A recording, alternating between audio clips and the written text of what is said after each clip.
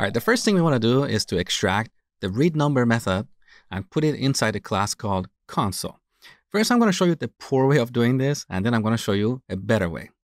So here's the poor way. We go to our project, and inside this package, we add a new class.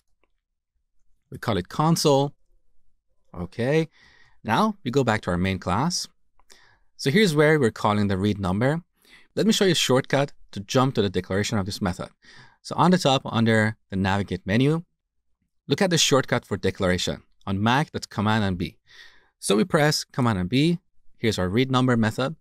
So the poor way of doing this is by selecting this code, cutting it, and then going back to the console class and paste it here.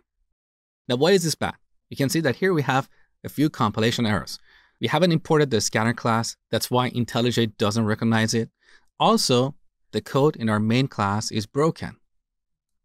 So wherever we call the read number method, now we have to manually prefix it by console dot.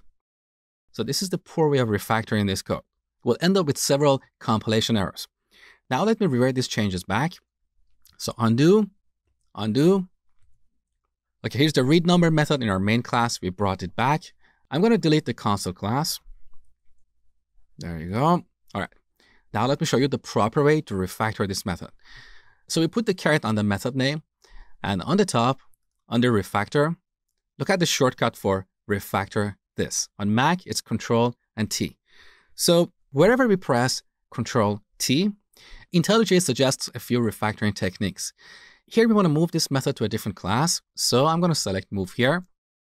On the top, you can see that we are moving this method from this class. Where do we want to move this to? com.codewithmosh.console. Now we don't have this class yet, and that's why it's displayed as red. But don't worry, IntelliJ is going to automatically create it for us. Now on the right side, look at the visibility. So here we have various access modifiers.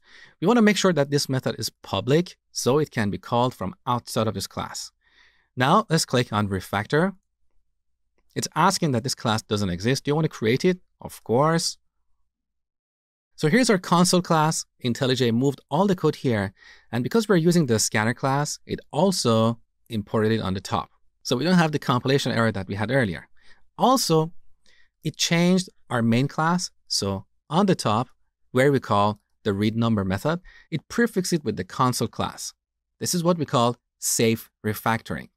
So instead of us manually moving code around, we use IntelliJ. This is much faster and produces fewer errors.